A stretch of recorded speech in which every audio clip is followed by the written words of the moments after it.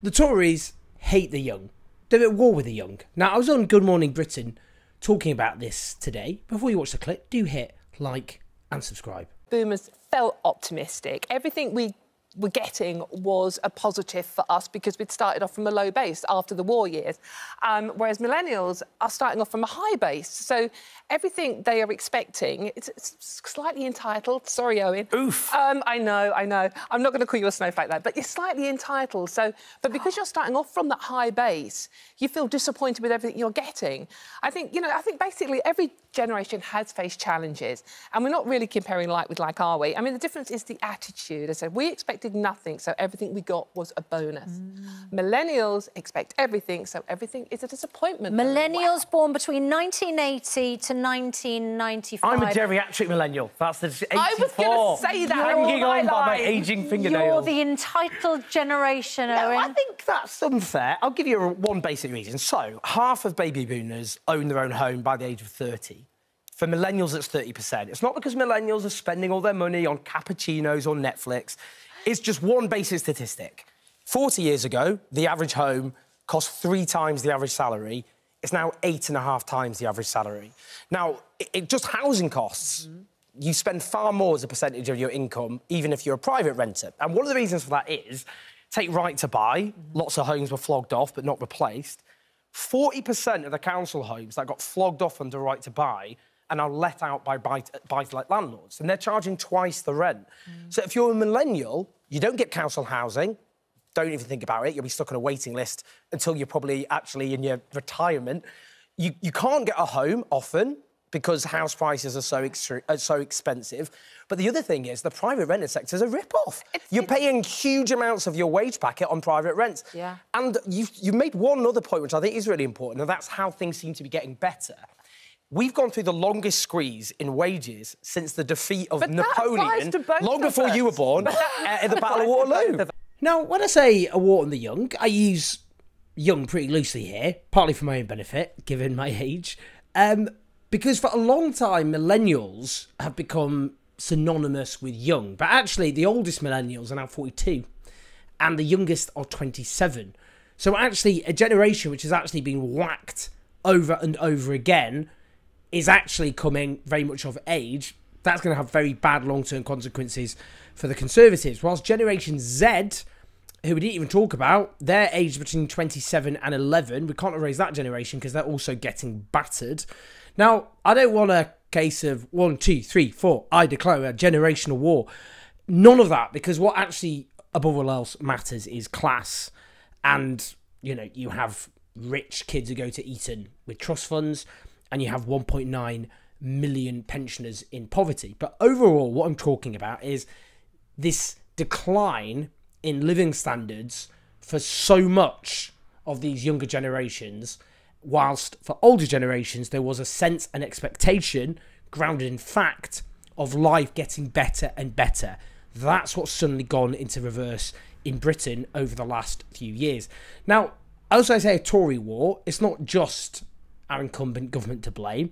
It is the economic system we have, a broken economic system at its root, though Thatcherism in particular redesigned that in ways which have had catastrophic consequences for younger people. And, you know, look, let's have some nuance. I can concede to Dawn's arg- argument more than I did in the cut and thrust of a GMB discussion. Food's become cheaper. There's a caveat. You've probably known, noticed that's gone slightly in reverse um, as of late. That's set to be a longer term problem on the horizon. The climate emergency will make food prices more expensive in the years to come. Uh, also, the rise of ultra processed food has damaged our health. Cheap, unhealthy food uh, has meant rising levels of obesity and cancer. But, you know, again, on the flip side, we've had advances in, in, in healthcare because of the great work of scientists, technology. We've got more gadgets now. Though, obviously, if, more, if people were to choose between an affordable, secure home and more gadgets, I think we know how they choose. So I think that answers that in terms of living standards. But it is interesting how a political discussion nationally is so often shaped by older right wing types and it revolves around taxes, the level of taxation, when housing costs is far more of an issue for most millennials and the Gen Zs who've left home. It takes up way more of their stagnating and often falling wage packets. But there are other ways that young people have been hammered as well. They've been saddled with debt, not least if they go to university. We're talking tens of thousands of pounds. Now, you might go, well, more people go to university than there used to be the case uh, when it was free. That is true, but you need to go to university to have access to more jobs than used to be the case. So you have to be saddled with debt in, in many cases to have access to the sorts of jobs that otherwise you, you just wouldn't be able to do.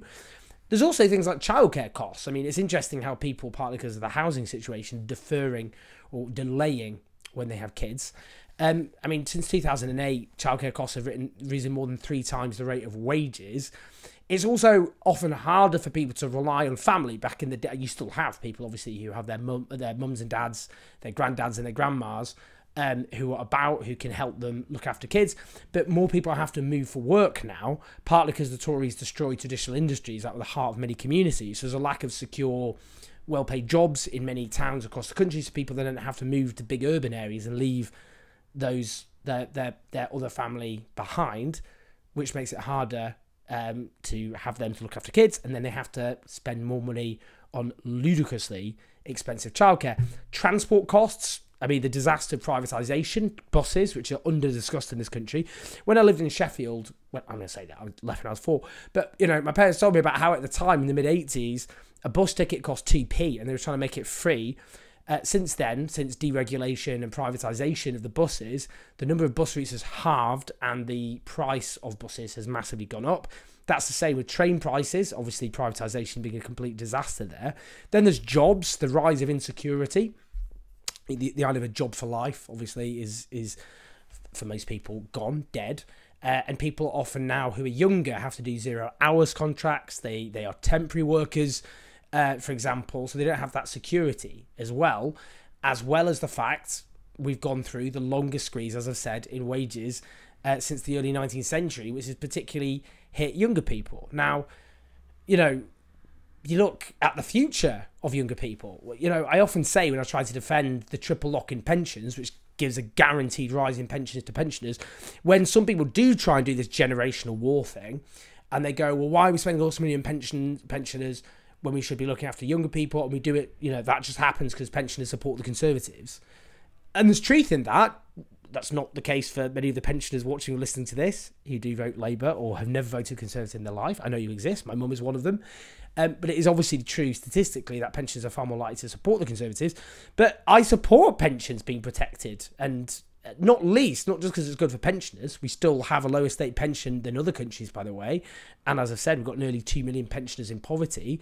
Um, but if you attack pensions now, you get younger people screwed now and then screwed later on when they're pensioners. We'll get, we're working for that. Younger people have to work for longer um, as constantly the, uh, the pension age is increased. Um, and the amount of healthy life they'll have in retirement shrinks as a consequence. Um, but also their private pensions have been done over. Um, you know, there's a decline in in in in that for for huge numbers of younger workers compared to older workers. So again, they're going to ha- get hammered as they get older um, as well. I've not even discussed the climate emergency. I mean, it's younger people now, Gen- the millennials and Gen Z, who are going to suffer the most catastrophic consequences of that. As well as that, you know, younger people tend to have more progressive social values, which have been systematically attacked by the Conservatives. Um, and a lot of that is because younger people are more diverse. You have more people of colour, you have more younger people born abroad than used to be the case, you have more younger people coming out as LGBTQ. All of those things have come under attack. So it's not just their values. I mean, younger people tend to come from uh, or are more likely to come from the sorts of communities the Conservatives have gone out of their way to attack in the so called culture wars. Now, when I say they've got contempt or hate the young, and I really do think they've got complete contempt for the young, who they see as these woke barbarians banging at the gates. You know, Rishi Sunak said, you know, he thinks universities are full of people who don't vote Tory. He said, basically, his latest student loan changes will mean 18-year-olds saddled with debt into their into their 60s. And he said, we've got to get far off from those university courses that are simply not paying their way because we are spending your money to subsidise these courses, which are not producing the goods for people, right? So it's great news for the universities, largely full of, you know, people who don't vote for us anyway. I mean, you know, that's how they see these people. And they don't really join the dots there because that's an existential issue for the Conservatives. Because what they've done is screwed up the lives. I've not even mentioned like the things like the destruction of youth services. I mean, re- you really can just go on, and they've systematically attacked the the the the, the lives, the security of younger people. And their whole promise of what we call Thatcherism or neoliberalism or free market capitalism was we'll free the individual. The individual will be free. But it, it's what they've delivered is insecurity. Insecurity isn't freedom at all. Younger people don't have security in their jobs, they don't have security in their homes, they don't have security in their wages. That's the truth of the matter. And it is true that older generations had the security of a welfare state, of housing security, uh, of of public services that were properly funded relative to where they are now. Um, you know, that's the social peace that was brought by the post-war Labour government, and it got torn to pieces. And it's younger people who now suffer the consequences, which is why their lot in life is going backwards. And you know, what we've got to fight for is a country which is full of abundant wealth and resources and talent, in which the lives of younger people and their potential are protected. And that's not what you get in this country. And we are going to suffer the consequences. I mean, I- I've just realised, I mean, I haven't even said like per pupil funding being attacked, six forms being decimated. Like it goes on and on and on. And the truth is that younger people, I think, are going to, as they come of age, and I've said the oldest millennials are 42, the Tories have, have dug their own graves because the research shows that millennials are the first generation not to become more right wing with age. I think the vengeance of younger people will be possibly the Tories trashed, driven out of power for a very, very long time to come. Doesn't mean Labour are good enough. I think I've made that position very clear. But the Tories have contempt for the young and they will pay the price. But we've got to harness what's happened to the anger that millennials and Generation Z fe- face, feel because of what they've gone through to build a different sort of society. And that's the biggie, isn't it? Please like, subscribe, and support us on patreon.com forward slash I'll see you in a bit.